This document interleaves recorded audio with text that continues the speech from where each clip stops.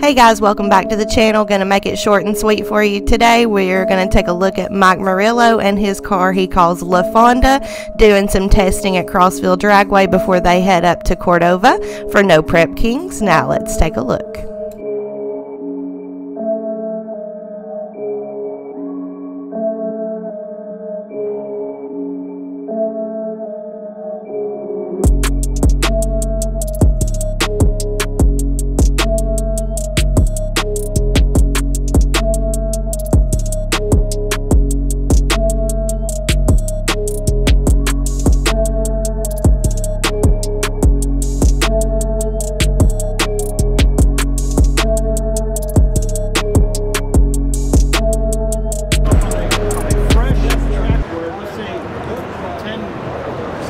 Cars have gone down.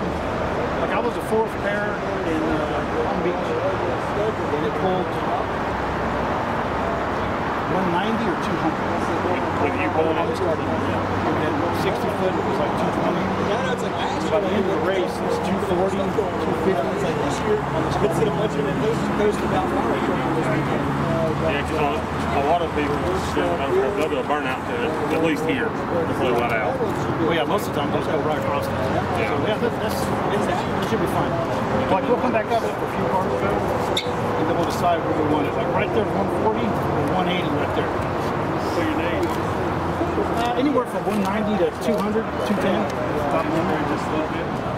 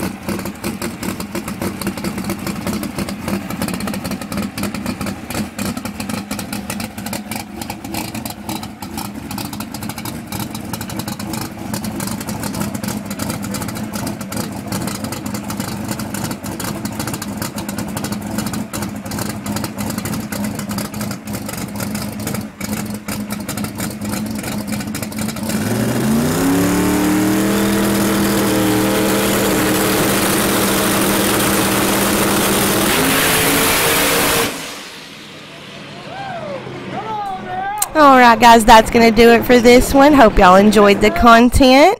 Be sure and leave me a comment down below and make sure and smash that subscribe button. It really does help out the channel, and I will catch you guys on the next one.